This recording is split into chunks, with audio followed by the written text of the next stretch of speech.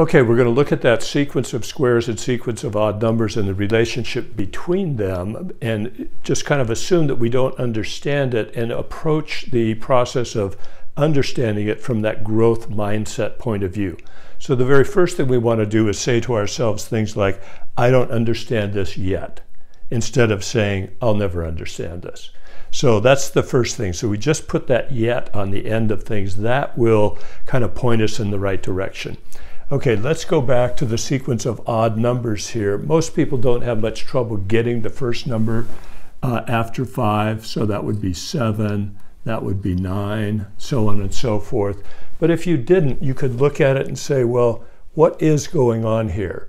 These differ by 2, these differ by 2. Let's write that down. So I'm going to say 3 subtract 1 is 2, 5 subtract 3 is 2, 7 subtract 5 is 2. 9 subtract 7 is 2. And so if I continued that pattern, I know that I'd add 2 to 9 to get the next number. So uh, I'm just playing around with this a little bit. I'm actively involved in it. I want to be writing things down. We're not going to really understand this until we can write it down ourselves from scratch. So the part of the growth mindset is that you're take a problem you're struggling with and become actively involved with it. And one of the things you want to be sure you're doing is writing things down. Okay, so let's look at the next sequence, 1, 4, 9, 16, sequence of squares. Let's suppose you just can't see anything there to do. So I'm going to say, well, let's do what I did up here and subtract. 4 subtract 1 is 3. Then I have 9 subtract 4 is 5. Oh, that's interesting.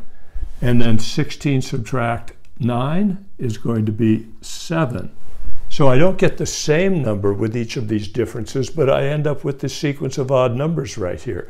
So that tells me if I wanted to get the next number here, all I have to do is add the next odd number, which is 9, to 16 to get me 25. Okay, so that's one way to look at it. Now, suppose you say to yourself, well, I wouldn't have thought of that myself. Well, I didn't either. I saw it from somebody else. So now you've seen it, so you have another tool in your toolbox to work with sequences. Look at the differences between the terms. This one here turns out to be really interesting. It actually gets us the next number in the sequence. But now suppose you looked at this differently and you said, well, this, I see this is 2 times 2. Okay, that's great. And then 9 is 3 times 3. 16 is 4 times 4. So if you continued that pattern, then you'd say, well, the next number is going to be 5 times 5, which is 25. So you get it there again. What if you back up to the 1? Does that fit into this? Well, sure, because 1 is also 1 times 1. So there's another way to look at that sequence as far as the same number times itself. Let's suppose you know exponents. Then you might say to yourself, well, this looks like 2 to the second power. 9 looks like 3 to the second power. 16 is 4 to the second power.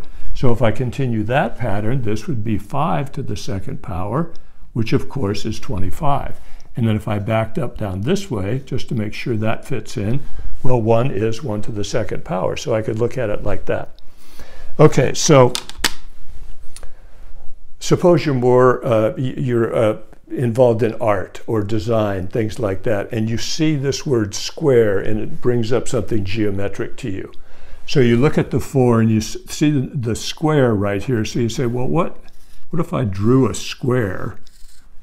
Where would I get the four out of that? Well, if I just divide these in half, I have four little squares. So the total number of squares there is four, and there's two on that side and two on that side. Well, let's go to the nine. Well, I can just kind of continue that pattern and say that I can draw a big square that has nine little squares in it, and then that side's three and that side's three. So I go to the next one, and I would have four on each side and get 16. So four and four, how about if I back up this way? What about 1? Well, that would just be one little square. Each side is 1, and the total number of squares is 1. So you might be more artistically inclined and think of this in a geometric way. Well, if you do that, you can see that the next step right here would be a, a, a square with 25 little squares in it, five on each side. Now let me show you something else I kind of like with this. Let's look at that first little square.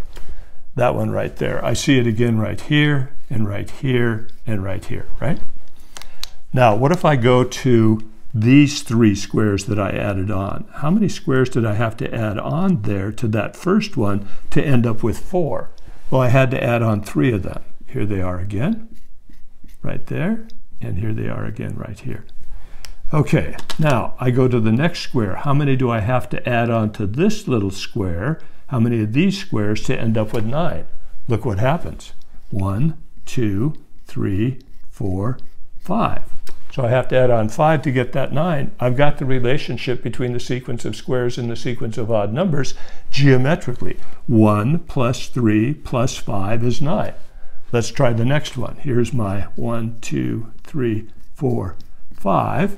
Now, how many do I have to add on to this little group of squares here to end up with 16? Well, I have to add on 1, 2, 3, 4, 5, 6, 7. So 1 plus 3 plus 5 plus 7 gives me the 16 squares. There's the relationship. Okay, so I'm just actively involved in trying to figure this out. It's messy. That's what happens. You're writing things down. Some things will work, some things won't.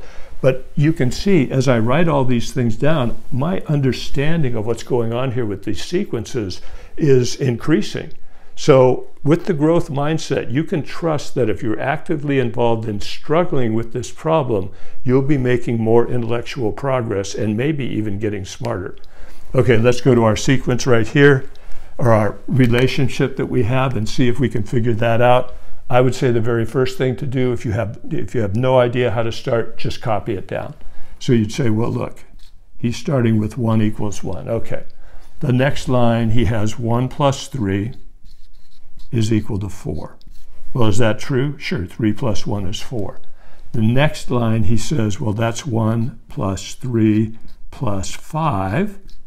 Well, what's that? 5 and 3 is 8, and 1 is 9. Okay, so let me look back here to my sequences that I have, and I see, well, 1 plus 3 is 4. So if I add these two odd numbers, I get 4, which is the second square.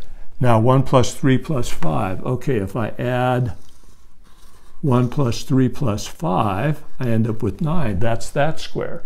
So I would say, just by looking at that, if I said 1 plus 3 plus 5 plus 7 must be, well, I can add it up if I want, or I can look up here and say, well, if I add the first four odd numbers, if this pattern continues, I must get 16.